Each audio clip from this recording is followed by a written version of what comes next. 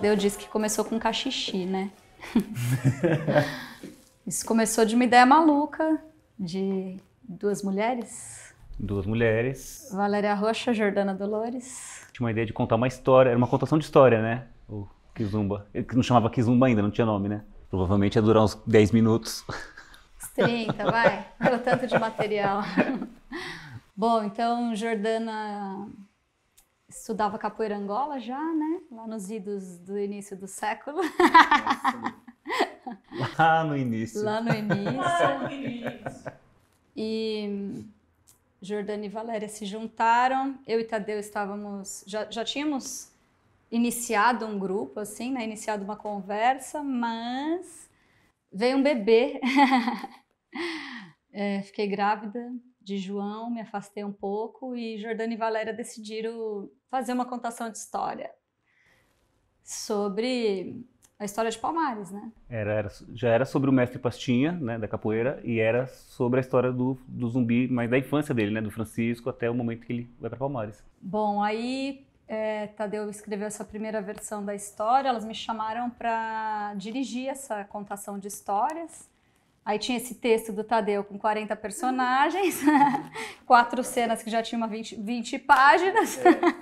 Para duas atrizes. É. E aí elas mostraram o fragmento do que elas estavam experimentando. E eu falei, gente, vamos fazer um espetáculo.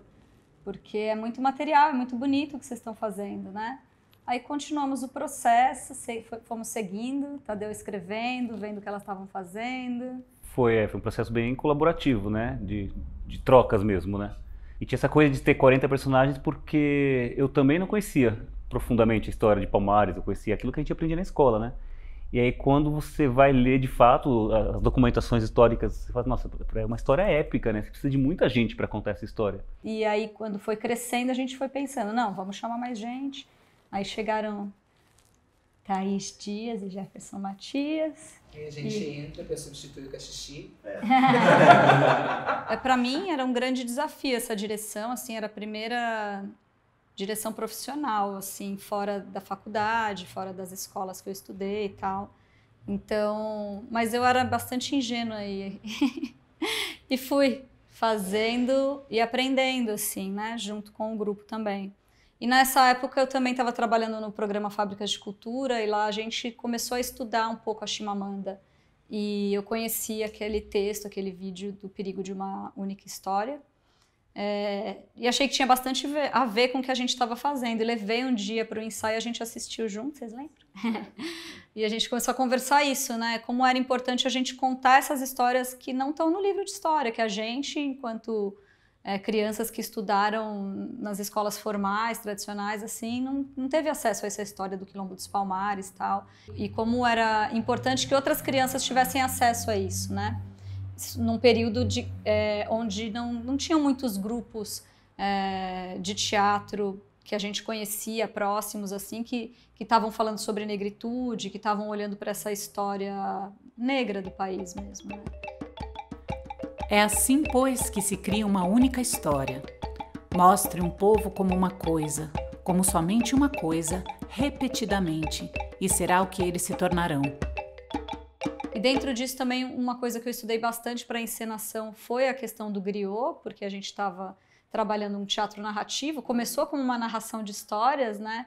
Então a gente tinha o, o personagem narrador e a gente começou a estudar é, essa maneira de narrar dos griots, assim, na questão da, da, da oralidade, transmiss, dessa transmissão de conhecimento pela oralidade e também essa coisa da formação de imagens. Então a gente fez alguns exercícios durante o processo de criação de memória, né? Então que a gente lembrava, teve um exercício que a gente fez que é, eu pedi para os atores e as atrizes lembra, lembrarem memórias de coragem da infância, assim, coragem e covardia. E aí eles contavam essas histórias e depois o outro ator, a outra atriz contava a história que ouviu a partir das imagens que formaram na tua cabeça. Então tinha essa questão da desse teatro narrativo que não eu não preciso entregar uma imagem para o público, né? Essa imagem pode vir através da narração, através das palavras, assim. Isso a gente trabalhou bastante. Outra coisa, é, nessa coisa do perigo de uma única história, eu, como encenadora, fiquei com muita vontade de que os personagens fossem feitos por mais de um ator e uma atriz. E isso foi um problema. isso até o fim, assim, eles foram, eles e elas, um pouco resistentes no início de, poxa, eu queria me aprofundar no personagem e, e não, todo mundo vai fazer Benedito, todo mundo vai fazer pastinha, então tinha um medo de que isso não desse certo porque a história já não era linear, né? É. A gente já estava contando duas histórias e todo mundo fazendo, mas é, conseguimos resolver bem isso com os adereços e e com, com esse teatro épico mesmo, né? Que eu coloco, que a, que a Johanna chamava do teatro de chinelinho, né? Eu visto um chinelinho e virei zumbi. então quem vestir aquele chinelinho vai virar aquele personagem. E no fim eu acho que isso é uma coisa que é, é que é uma das preciosidades desse espetáculo, assim, porque esse jogo acontece muito bem, né? Entre vocês. Hoje amanhã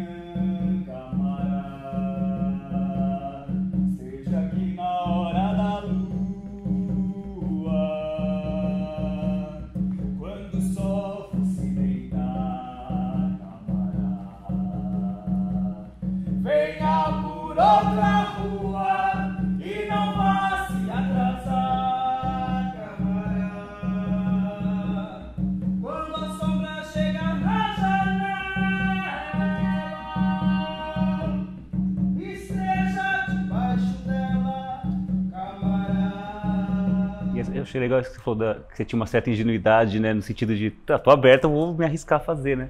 Porque para mim também foi um aprendizado. É, era a primeira vez que eu começava a pensar que existia um teatro narrativo, né? Que era possível fazer um teatro desse tipo, né? Porque eu também pensava, bom, eu tenho 40 personagens, não tenho que chamar 40 pessoas para fazer, né? Eu não conseguia também muito. E, e, também porque, como vinha de uma contação de história, que tinha já uma base da oralidade, também ele necessariamente pedia para ser narrativo, né? Mas eu não, não conhecia esse lugar, né? Também acho, acho que fui entendendo e eu lembro até hoje o primeiro ensaio que eu fui assistir, porque quando o Thaís e o já chegaram, a, o texto já estava meio pronto, assim, né? Pelo menos o geral dele, assim, estava mais pronto já. E é o primeiro ensaio que eu fui assistir, eu lembro que vocês tinham até esse momento em que o Francisco saía da, da, da igreja e voltar para Palmares, né? Eu lembro que eu achei aquilo tão lindo que eu fiquei, gente, acaba a peça aqui, né?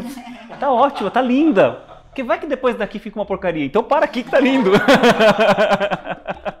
o capoeirista para bater não precisa encostar o pé. Ele deve ter seu corpo freado, manejado para quando ele levar o pé e ver que o adversário não se defendeu, ele frear antes do pé encostar. Porque quem está de parte vê que não bateu porque ele não quis. Então, para bater, não precisa dar pancada no adversário. Essa introdução né, da, da capoeira Angola dentro de um, de um treinamento artístico é, também é muito também era novo, né? Pra você pensar 11, 12 anos atrás. A Jordana, ela, ela é do grupo, né? Ela que era angoleira mesmo. É, eu fui convidado, é, eu joguei capoeira regional por muitos e muitos anos. já estava um tempinho naquela época sem, sem treinar. E comecei a treinar capoeira Angola dentro do, do coletivo Kizumba. E foi um. Foi não, né? É uma experiência muito, muito ímpar, assim. Você, você ter um, uma arte marcial, né, que ao mesmo tempo ela é uma filosofia de vida, que ela é uma dança, e você trabalhar ela dentro de um, de um, contexto teatral e principalmente narrativo. E aí, eu acho que um dos grandes desafios e que o, que o grupo teve na, nesse espetáculo foi justamente começar a fazer os treinamentos, né, e todos nós começarmos a, a conseguir executar né, minimamente o, os, os, movimentos, os golpes, os floreios, até chegar um momento em que né, a Camila pedindo, né, e, e dentro de, de, todo o contexto, nós começarmos a usar esses movimentos é, não só como, sei lá, o rabo de arraia ser apenas o rabo de arraia, né? ele, ele não ser o movimento, né? ele ser uma ação que diz so, sobre a cena também. E, e, essa pesquisa, ela, enfim, ela é uma coisa que vai sempre transformando, né?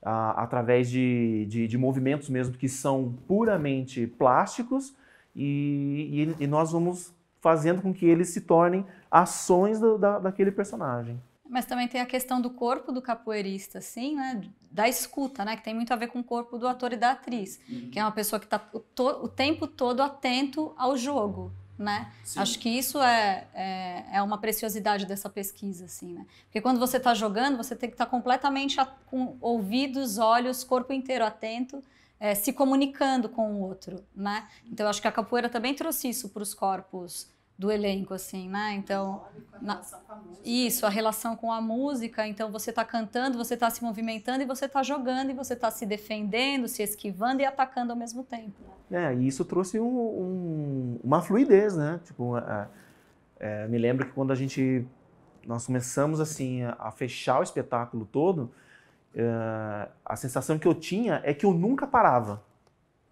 Né? A sensação de, de quando começava o espetáculo todo o meu movimento, todas as escolhas que eu fazia, ela sempre sempre estava ligado, principalmente no, no, no, que os outros né, tam, também estavam fazendo, aonde, é, para onde eles precisavam ir, qual a composição de cena. E mesmo nos momentos que eu não estava realmente em cena, mas eu estava ali numa posição, né, por exemplo, tem uns momentos ali que, que o meu personagem sai de cena, né, eu na verdade eu estou agachado e é como se estivesse no, no, no pé do benimbau capoeirista não é aquele que sabe movimentar o corpo, e sim aquele que se deixa movimentar pela alma. Eu nasci para capoeira. Só deixo a capoeira quando eu morrer. Eu amo o jogo da capoeira. E não há outra coisa melhor na minha vida do que a capoeira. Capoeira é muito mais que uma luta.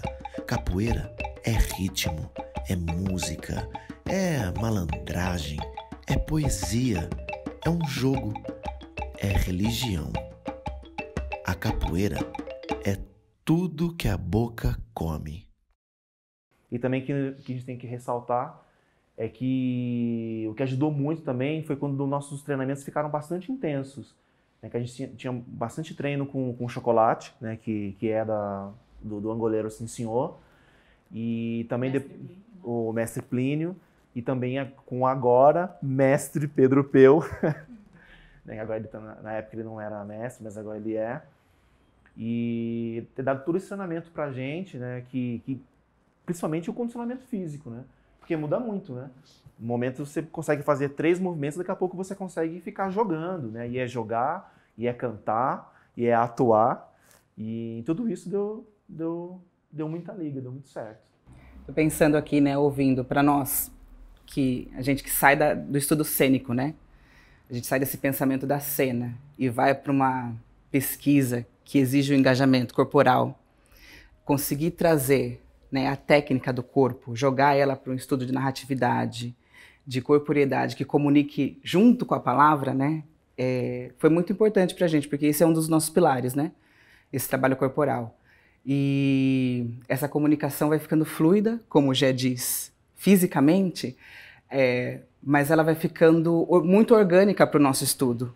Porque, como o Tadeu sempre escreve um texto que é muito calcado na narratividade, na poética e na palavra, o corpo dança junto com as palavras, né? Quando a K traz a Chimamanda para a gente, isso vira uma perspectiva de grupo também, para a gente sempre trazer todos os possíveis olhares para todas as narratividades, né? Então, se no Kizumba a gente traz todos os atores brincando de ser o mesmo personagem, nos outros espetáculos a gente vai, também vai rodiziar a palavra pelos atores, né? E a gente vai falar isso nos outros blocos. Mas fiquei com vontade de falar disso sobre sobre esses pilares, né? De estudar a tradição da oralidade, a história da formação do povo brasileiro, a história da ancestralidade, né? da, da do povo negro que são provocações que fizeram com que a nossa união só se fortalecesse. A gente vem de uns anos aí juntos e lá no começo a gente não tinha essa reflexão. Éramos, não tinha nem essa referência. Não, não né? tinha, não tinha na escola, nas nossas escolas. Nós somos de diferentes escolas, né? Então é um encontro de pessoas de diferentes escolas que se questionam com essa ausência desse estudo, desse aprofundamento do teatro preto, da narratividade preta, e é a partir daí que a gente começa a chafurdar na nossa própria história, as provocações também sempre vinham, né? Quando você falou agora há pouco de trazer como é o corpo do seu Benedito, para trazer uma corporeidade comum, a gente teve que pesquisar nos nossos antigos, Sim. nas nossas antigas, né, dos meus avós, dos meus tios. Então, como é que é o homem preto que eu tenho referência? Para cruzar com o homem preto que eu vejo do lado de fora e tudo mais. Isso vai se estender lá em Ojorum também, né? Então, é, eu acho muito gostoso quando a gente reflete a nossa própria história de grupo, visualizando que um questionamento social fez com que a gente revisitasse a nossa própria história, né? Enquanto indivíduo na sociedade. Sei lá, 13 anos. E estamos construindo ainda, né, esse lugar. E acho que tem, tem uma certa um certo pioneirismo naquele momento, Sim. assim, naquele contexto, porque a gente olhava não tinha nenhum trabalho, a gente olhava em volta não tinha nenhum trabalho assim que lidasse com essa temática para criança. E voltado para a infância. Voltado para a infância e para a juventude, né? Então tem um pouco isso. A gente falava assim, naquele momento tinha, por exemplo, ah, tem contos, vamos fazer uma contação de história sobre contos africanos, daí falava sobre África, mas a África como um país, assim, né, não tinha nenhuma relação com as culturas que aqui vieram, então essa relação é, com as várias Áfricas que, que habitam o Brasil, né, então a gente era simplesmente, parecia que vinha, ah, e vem um conto africano. Então aí a gente também foi fazer esse trabalho do, do Cantos de Aie, um pouco preocupado e a princípio, né, a gente, a gente é, concentrou os nossos estudos sobre a mitologia iorubá. Então a gente foi trazer um pouco histórias que estavam relacionadas ao, aos elementos da natureza, né? E aí a gente vai fazer essa relação com, com os orixás, né? Ou também outros contos, né? Que que tem que estão ali da, da, relacionados a essa cultura iorubá.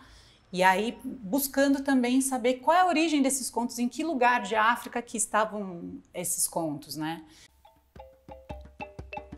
Quando se fala da tradição africana, nunca se deve generalizar. Não há uma África, não há um homem africano, não há uma tradição africana válida para todas as regiões e todas as etnias. Claro, existem grandes constantes. A presença do sagrado em todas as coisas, a relação entre os mundos visível e invisível e entre os vivos e os mortos, o sentido comunitário, o respeito religioso pela mãe, etc. Mas também há numerosas diferenças. Deuses, símbolos sagrados, proibições religiosas e costumes sociais delas resultantes variam de uma região a outra, de uma etnia a outra e às vezes de aldeia para aldeia. Posteriormente, acho que a gente foi vendo outros estudos, né? E aí, mais recentemente, lendo a, a Leda Martins, que ela fala sobre essa questão da oralitura, né? Que é o que o corpo, o corpo e as vozes dizem, né, na performance, elas estão contando também, né? Elas contam histórias, elas contam coisas, contam memórias, e eu acho que isso estava já presente ali naquela semente do Kizumba, quando a gente foi buscar é, bebê na capoeira Angola, né? E aí mais para frente a gente pensando em outras, outras também outras manifestações, mas sempre com, com uma centralidade da capoeira, né? E aí, e aí é isso, né? A musicalidade que está integrada, está integrada com, com a, a, musicalidade como, como também parte é, da história que a gente conta, né? É um elemento muito importante da oralidade, né? É, ali a, a, música ela tem muitas funções, a função de registrar história, de contar história, de, de passar conhecimentos. Ali é onde onde estão registradas muitas coisas, ainda mais para uma população que não teve a condição, né, não teve a, a condição de registrar sua história em livros, em escritos, né? É, enfim, por uma situação que, que quem detinha essa, esse poder de registrar sua própria história eram quem era a classe dominante, né? Eram os brancos, era a elite, né?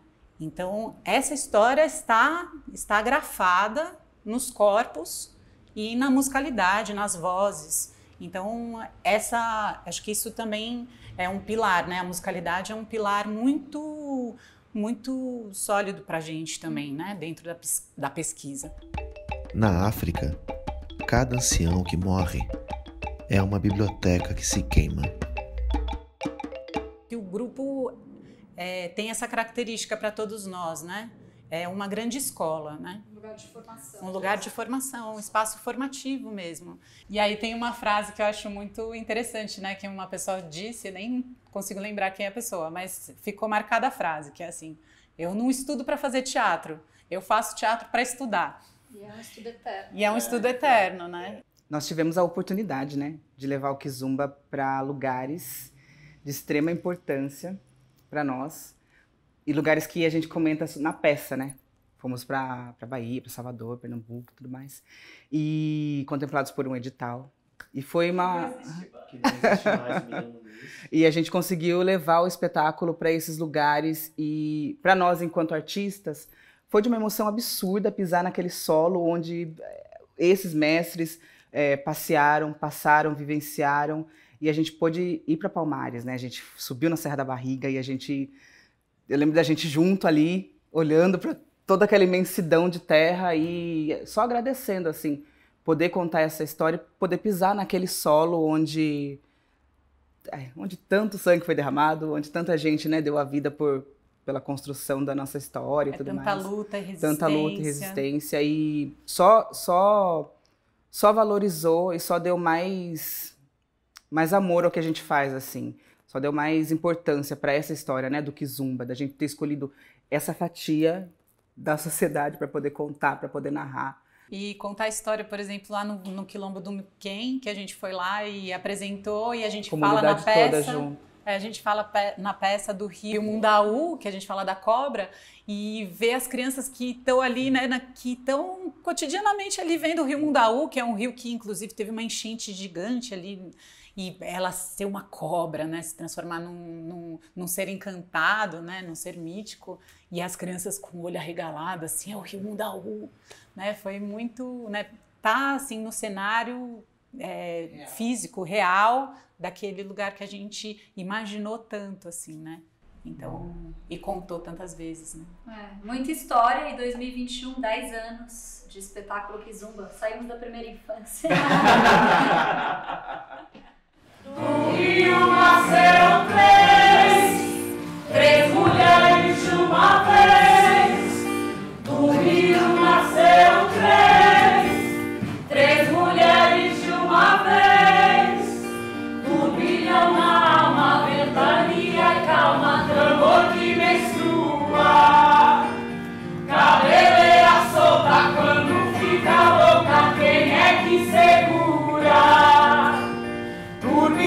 Turbilhão na alma, ventania e calma, tambor que menstrua. Bom, aí, o Juru, é, a gente percebeu que em Kizumba a gente tinha falado de dois homens negros e que a gente tinha lido muito material de homens. É, e a gente estava sentindo ali em 2013 para 2014 uma necessidade de falar desses corpos femininos, de- das mulheres, né? E a gente também estava tendo, é, como educadoras e educadores, que a maioria de nós somos, é, muitos relatos de alunas que sofreram violência. é, a gente mesmo começou a trocar nossas experiências de, de, de se sentir é, violentadas em, em algumas situações e, na- e- e nas relações, dessa questão da, também da opressão, da condição da mulher. E aí a gente decidiu que ia estudar esse tema e que seria um espetáculo jovem, né? Era a primeira pesquisa, assim, para esse público jovem. E aí, Jefferson, a gente ficou pensando, porque a gente tem essa, esse pilar da- do trabalho de estudar a história, né? De é, escolher personalidades da história do nosso país para contar a outra história que não foi contada para a gente sobre essas pessoas. E Jefferson lembrou da Anastácia.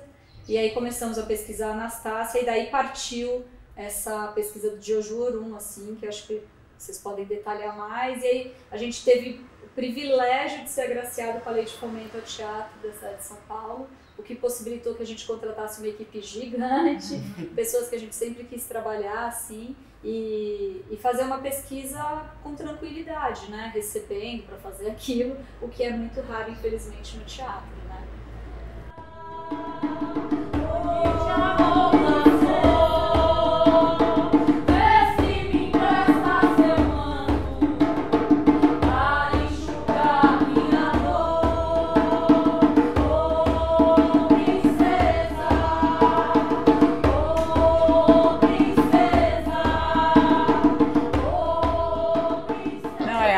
Face é aquela imagem, né? A imagem que tem a, uma mulher negra com uma máscara, né? Tampando uma máscara de Flanders, né? É, que é um instrumento de tortura e era usado em, principalmente em situações, né? De, de, de enfim, de escravizados que Rebeldes. eram rebeldes ou que planejavam fugas ou planejavam insurgências, né? E aí tem essa imagem e aí a partir dessa imagem que, que é cultuada como uma santa popular no Rio de Janeiro, né? Essa imagem tem várias histórias sobre, né? Diz que é uma, uma princesa africana, tem uma versão, né, que é uma princesa africana que veio para cá, tem uma versão que ela é filha de uma princesa africana com com um homem branco, né, um senhor de engenho, e em todas essas histórias conta que ela era uma mulher muito bonita e que ela também era uma mulher que, que era rebelde e que arregimentava, né, é, era insurgente, né, era, Incitava incitava as outras é, incitava rebeliões, revoltas, né? Então por isso ela acabou usando aquela aquela máscara e aí ela morre, acaba morrendo em decorrência dessa, de uma ferida, né? Que uma gan- é, acaba gangrenando aqui, né? O, o rosto dela, que ela não consegue mais se alimentar e aí ela morre em decorrência desse instrumento de tortura, né? Então a gente usou essa, essa imagem muito que a gente achou muito potente, né, de, de silenciamento, né, como uma, uma, uma imagem ícone assim, né, do, do que é o silenciamento das mulheres, em especial as mulheres negras, né. E a partir dessa imagem, e, e como a pesquisa foi caminhando, a gente foi estudando a condição da mulher, principalmente da mulher pobre, da mulher preta, periférica, é, no século 20 e 21, né? E a gente é, chegou numa pergunta provocadora, não sei se vocês lembram, que é quem te ensinou a ser mulher e o que acontece se você não segue o que te ensinaram, né? Histórias importam. Muitas histórias importam. Histórias têm sido usadas para expropriar e ressaltar o mal. Mas histórias podem também ser usadas para capacitar e humanizar. Histórias podem destruir a dignidade de um povo. Mas histórias podem reparar essa dignidade perdida. a partir desse, desse pontapé, né, dessa, desse questionamento e tendo essa imagem como uma imagem que cau- causada por um silenciamento, a gente foi buscar estofo em histórias reais, né, nas nossas próprias histórias, nas histórias das nossas mulheres, para conseguir trazer esse protagonismo feminino e aí a gente conseguiu fazer uma ocupação na região do Jabaquara, no bairro de Americanópolis, é, e a gente fez três frentes de pesquisa, né? Três oficinas diferentes. Núcleo de. Núcleos de investigação. Um núcleo foi voltado a jovens, né? Que trabalhava um pouquinho mais da musicalização também. E teatro com jovens e teatro com mulheres. E aí mulheres mais maduras, né? Em situação de vulnerabilidade Isso. social. Exato. E eu lembro que os relatos que a gente. As trocas, né? Que é- é muita doação, né? E aprendizado. A, todo o material que a gente conseguia construir, ouvir e ter como devolutiva delas a partir dessas, dessas delas e deles, né? Porque os jovens também tinham meninos, né? Na oficina dos jovens também tinham meninos participando. É, nos alimentava demais nas construções de cena. Então, a gente se dividia, né? Parte da semana a gente estava dando oficina e depois a gente vinha para a sala de ensaio para trabalhar e refletir sobre o que a gente conseguia colher nas oficinas. É, acho que tem, tem, tem coisas muito interessantes reveladoras para a gente nesse estudo Jurum, que é quando a gente se depara nos estudos sobre feminismo, né? Aí a gente se depara com algumas questões que a gente começa a comparar com a realidade, assim, ah, puxa, mas espera aí, né? As mulheres foram para o mercado de trabalho a partir da década de 70, 80? E aí eu falei, mas minha avó sempre trabalhou. ah, é, falei assim, como assim, né? E aí a gente foi ver nas, das mulheres da- das, das nossas famílias, são mulheres que trabalharam desde sempre, né? E aí eu falei assim, essas mulheres estão excluídas dessa história do feminismo, né? E, e aí a gente vai buscar no samba no samba e porque o samba é, é, também um pilar de, de pesquisa, né? A gente faz do samba ao funk, então fazendo uma, uma relação com o samba é, e o funk como os, os dois equivalentes, assim, como o funk como uma continuidade dessa cultura samba, né? Porque o, são os mesmos atores sociais, é, são crônicas de uma história, né? Crônicas sociais sobre sobre as pessoas ali, aqueles atores sociais que estão envolvidos.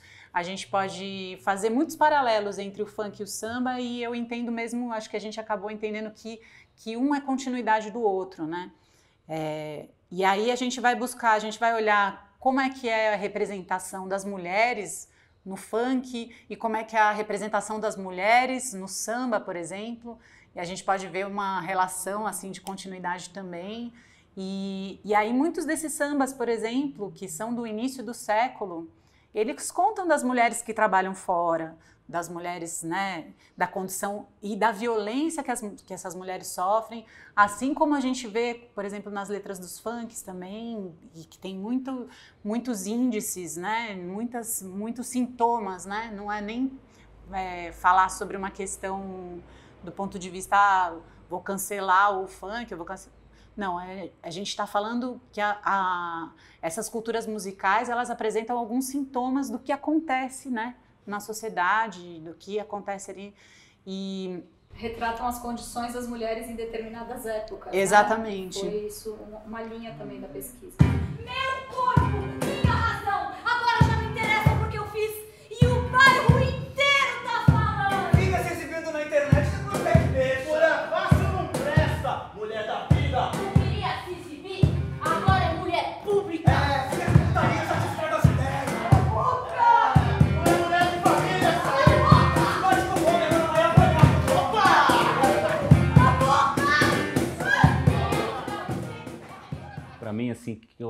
são duas palavras que acho que a Thaís falou e que resume, assim, né? Que é escuta e cuidado, né? Cuidado com a escuta, né? E uma escuta muito atenta, assim, porque todo o processo foi dessa escuta com, com os jovens, com as, com a, as idosas da, lá do Jabaquara, mas também teve um processo que a gente passou com o Saloma Salomão, né? Que é o historiador, que foi muito incrível também de ele nos orientar a nos escutar, né? Então também a gente passou por um processo de conhecer coisas sobre nós que a gente não sabia, mesmo convivendo já um tempo juntos, né?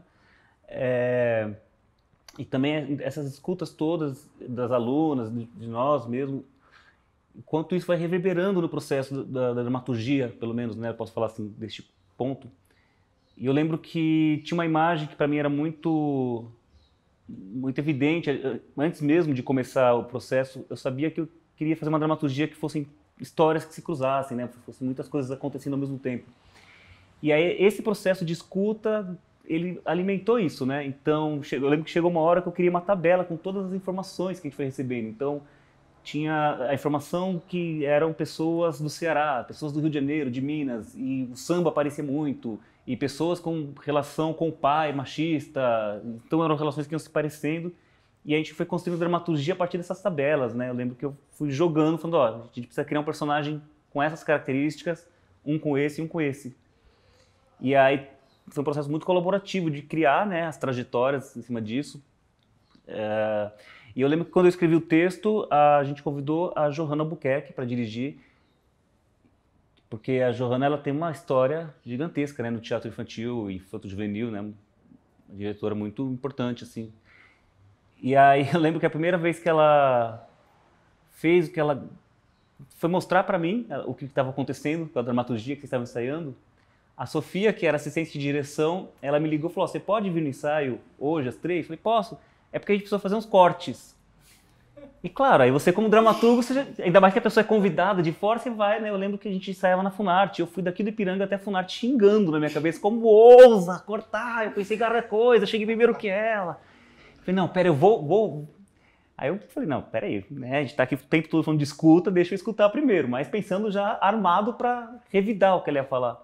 E aí, cara, é isso, né? É escuta mesmo, né? Porque escuta essa pessoa que tem uma experiência muito maior que você, né? Eu lembro que ela foi falando cada coisa, por que que eram os cortes, eu, nossa, faz todo sentido. É, você tem razão. Então também foi um, um aprendizado muito grande, assim, né? Porque tem muita coisa na dramaturgia da peça que são apontamentos que vêm da direção, né? Também, assim, de... E se você fosse por aqui? Se fosse por aqui? Então, esse trabalho da escuta, pelo menos para mim, assim, eu acho que ele cresceu muito no, no processo, né? Do, do Jorum. Ah, Esse espetáculo ele era muito provocador com as questões de gênero com os jovens, assim, né? E sempre que a gente ia conversar depois, sempre tinha alguma coisa inflamada, assim, porque a gente trazia essas questões de gênero muito fortemente e, e dividida na- nas épocas tal, e, e eles eram provocados e provocadas e ficavam, eles ficavam eufóricos e eufóricas, assim, né? Para falar alguma coisa. E eu sentia que era transformador para quem estava vendo, né? E para mim foi um processo muito transformador também, enquanto mulher, de me olhar e me, me ver bonita. Foi, eu aprendi a me ver bonita nessa peça. Cala a boca, Anastácia! Cala a boca você! Olha a nossa condição! Vocês violentam as nossas vidas! Desprezam as nossas crias! Rasgam as nossas peles até virarmos vestido de trapo! Desejam o leite do nosso, do nosso corpo, mas não nos querem gente! Mudam as nossas crenças, as nossas línguas e esperam um silencioso sim! Coisa que não gostamos é que segure o nosso jeito. Nós queremos outros cantos que não nos de dor. Nós gritamos não! E aí tem uma curiosidade que é, cada espetáculo nasceu um bebê, né? Então, no Kizumba nasceu João, o Juorum nasceu José, e aí vamos falar do Pequena História, quando nasceu Bento. Ou seja, a gente vai estreando peças e povoando o mundo, A memória das pessoas da minha geração, sobretudo a dos povos de tradição oral, que não podiam apoiar-se na escrita, é de uma fidelidade e de uma precisão prodigiosas. Desde a infância, éramos treinados a observar, olhar e escutar com tanta atenção que todo o acontecimento se inscrevia em nossa memória como em cera virgem. Tudo lá estava nos menores detalhes. Para descrever uma cena, só preciso revivê-la.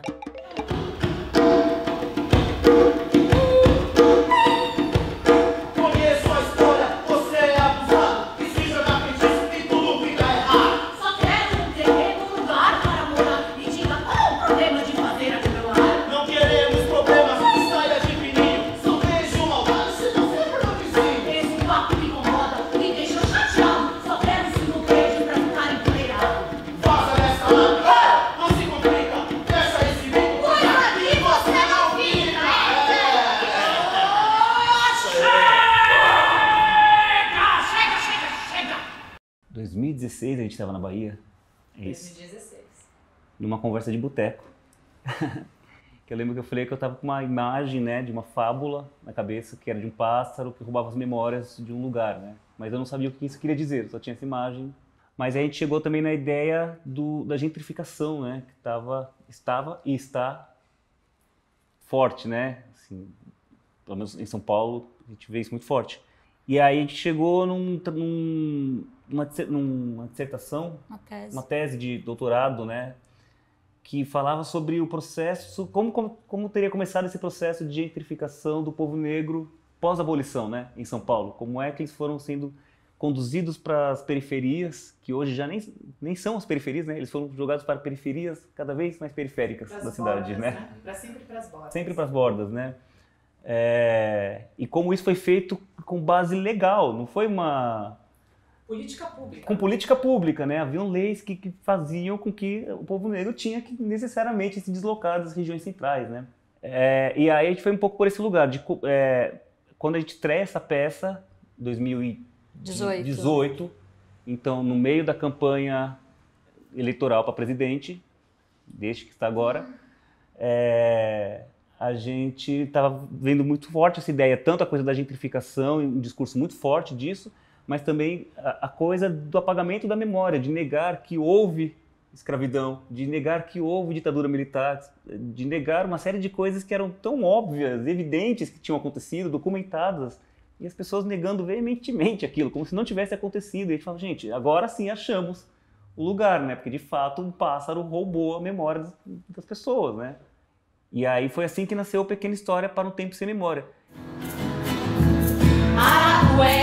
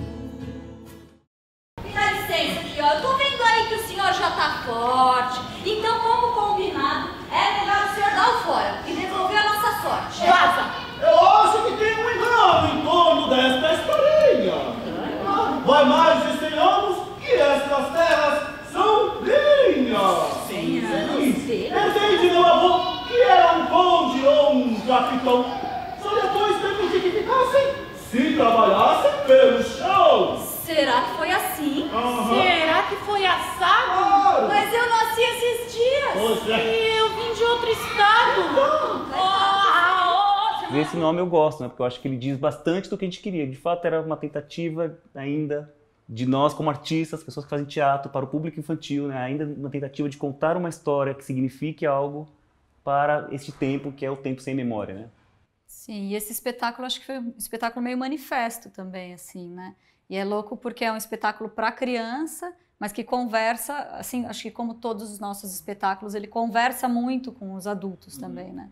Então as pessoas saíam muito emocionadas, as, as crianças curtiam a história, a visualidade, o mito, e os adultos refletiam sobre aquela história e saíam muito emocionados porque a gente estava falando daquele período pós-abolição que, que tinha tudo a ver com aquele período de 2018. Então era meio que um, um choque. Poxa, é, passou tanto tempo e aí estamos aqui, né? É, e tinha um momento, né, que era catártico, assim, naquele, porque a gente estreou a peça realmente no período eleitoral, assim, Foi né? 7 de setembro de 7 2018. de setembro. E aí a gente tinha uma cena em que os personagens estavam querendo vender a, a- a parte das casas, né, para para ave que era que roubava a memória, mas isso por conta de um truque, né? da- da- E aí as crianças tentando dizer que não devia fazer isso, né? Não devia vender para aquele, para aquela figura. E aí era uma fala muito forte que era não para ele, para ele não. E isso Ele não. e Ele era um não, ele é não muito verdade. forte, né? E o teatro vinha. "Ah!" era muito catártico esse ele não, né? Eu acho que uma coisa importante de falar do Pequena História é o modo de produção, assim, né? Porque tanto que Zumba quanto o Ojuorum a gente foi contemplado em editais para realizar. E o Pequena História foi o primeiro trabalho que a gente, é, depois da trajetória de quase 10... A gente estava fazendo 10 anos, né? Foi a celebração dos 10 anos Foi. do grupo, né? Então a gente tinha um caixa que poderia é, pagar os parceiros e as parceiras, e a gente não. Mas com esse caixa a gente produziu esse espetáculo e conseguiu fazer uma temporada no Sesc Pompeia. E aí foi uma produção em parceria com o Sesc, assim, né? Foi diferente dos editais todos e a gente que a gente fica esperando ganhar para fazer, né? A gente estava falando no, no, no espetáculo né, sobre o processo de gentrificação, de apagamento de histórias, então, no apagamento da história negra em São Paulo, né? E aí a gente vai falar um pouco, então a parte musical vai cuidar um pouco de, de estudar essa, essa história do samba paulista, né?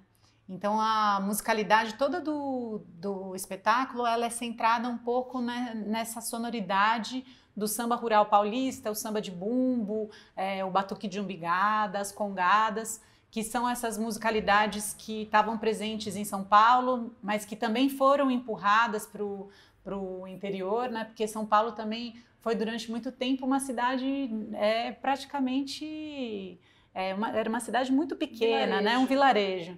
Então ela tinha uma característica mais rural, né? E essas manifestações estavam lá e elas foram sendo também sendo também expulsas, né, para as bordas. E aí tem, né, tem duas pessoas aqui, dois atores que são de Piracicaba, Thaís e o Jefferson. Então foi muito interessante porque a gente foi beber bastante também nessa sonoridade do batuque de umbigada, desse samba, desse samba rural que estava ali presente também na sonoridade lá de Piracicaba, né? Domingo chega e acorda todo mundo, que lá no fundo o passado me chamou. Agora é hora de cantar o povo antigo, cante comigo no coro do meu tambor. Agora é hora de cantar o povo antigo. Cante comigo no coro do meu tambor.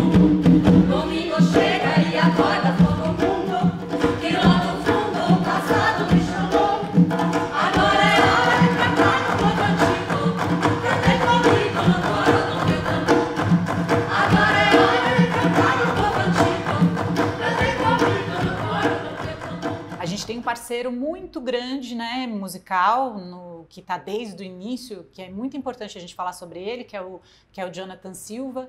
Ele é uma pessoa fundamental também no grupo, porque ele sempre convidado para fazer a, a direção musical, a trilha e e eu aprendi muito com ele, vendo ele trabalhar. É maravilhoso ver ele trabalhar, o jeito que ele compõe, o jeito que ele pensa. É, e aí isso também foi, foi me ajudando a, a, também cada vez mais tomar parte desse processo, né? De, e também começar a tomar, tomar algumas rédeas de algumas questões, algumas responsabilidades da direção musical, né? Dessas pesquisas. Então, nesse espetáculo, eu acabo dividindo um pouco a, a direção musical com, com o Jonathan. E eu acho que é um espetáculo em que, como foi um modo de produção diferente, né, também, ao invés da gente chamar muitas pessoas, porque a gente tinha um, um orçamento mais curto, né, mais, mais enxuto, a gente foi a gente mesmo fazendo coisas, né, se metendo a fazer coisas. Então eu também participei mais ativamente dessa questão da direção musical, a Thaís fez o figurino, aí o Tadeu vai, além de escrever, faz essa loucura de escrever e dirigir, porque não tem ninguém para cortar o seu texto. É. Então aí eu acho que, que tem essa. Foi um momento também assim teve uma urgência, né, de fazer esse espetáculo. A gente fez num tempo mais curto também, né? Tinha essa ideia há bastante tempo, mas ele vai, ele vai meio, vamos, vamos agora, dois meses para fazer, montar tudo, né? É, juntar, finalizar. finalizar, né? A gente já estava fazendo antes, né? Mas para finalizar a pesquisa, vamos lá. E aí foi uma força-tarefa enorme que, que demandou da gente, né? Quanto grupo, é, tomar algumas responsabilidades que a gente não tinha tomado antes. Já eu também fiz a preparação corporal, aí fiz o figurino produção, ou figurino não, a iluminação e a produção, já tô, queria jogar para Thaís ela fala do figurino. Acho que é um ponto de virada, né? Enquanto trajetória do grupo, esse lugar da gente falar, não vamos esperar ninguém para nos, uhum. nos dar um impulso, vamos nós, vamos para frente, é um baita de um ponto de virada. E aí olhar para dentro e valorizar o que tem dentro e a gente se sentir seguro para falar, vou assumir essa função, né? Vou, vou bancar isso porque é uma coisa, é um desejo instaurar essa poética aqui é a minha casa, vou fazer dentro da minha casa. E aí a gente começa a se autofomentar e, e tomar as rédeas dessas pequenas funções. Eu não estava em cena, eu estava distante, estava grávida do Bento e acompanhava os ensaios em cima da minha casa. É, foi uma baita de uma experiência, tá fora de cena. É, e construí o figurino para o meu grupo, que eram corpos que eu já conhecia, mas assim, a confiança de poder é, vestir esses corpos, né? Esses, essas corpas aqui. E foi uma pesquisa muito gostosa. Eu lembro que eu estava muito feliz, grávida, muitas ideias, né? Tava borbulhante, borbulhante, muito criativa. E foi um processo muito bacana para mim, assim, me, me enraizou mesmo nessa, nessa, nesse outro segmento, né? Poder falar, olha, gosto e consigo fazer.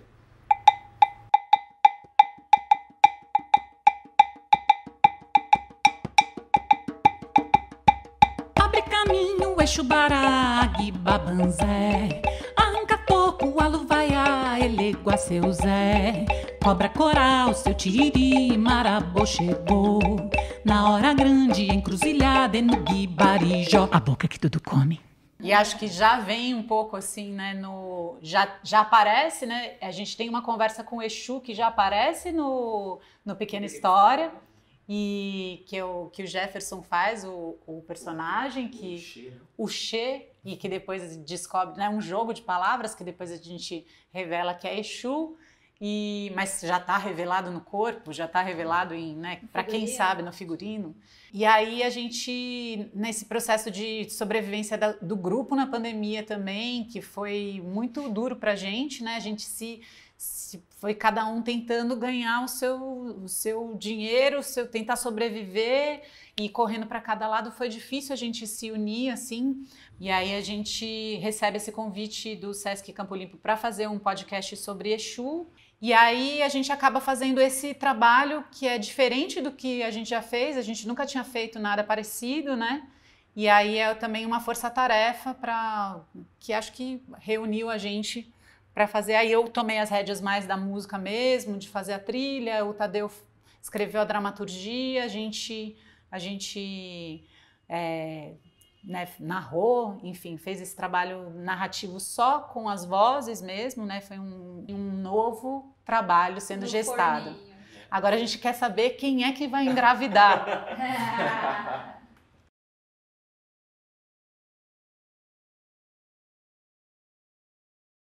Dentro da cosmovisão de muitas culturas africanas, o tempo é circular. As histórias se repetem, não como algo inevitável, mas como uma chance de reinvenção, de reação. Por isso a importância de estudar a história dos nossos povos, para que a gente possa se compreender, compreender o outro e o mundo. Que história nos contaria Ifá, o oráculo, o mensageiro de Orumilá, orixá do destino, para nos ajudar a compreender esse momento que a gente está passando agora? A gente volta a conversar com o público infanto-juvenil, que tem sido nosso grande interlocutor ao longo desses anos de existência do coletivo, para dar continuidade a uma, a uma busca por uma linguagem que comunique para várias gerações. Então, que promova um espaço de comunhão entre adultos e crianças, que promova esse espaço em que todos possam conviver e possam desfrutar de uma mesma experiência, assim como acontece na cultura popular, que é uma das grandes fontes de inspiração para o grupo e também de pesquisa. Nesse novo trabalho, nós pretendemos fazer um, um cruzamento. Um cruzamento que confronte, então, esse universo fabular, o universo da tradição, com esses elementos tecnológicos e com todas essas novas formas de interação que se, que se impuseram nesse, nesse período de pandemia.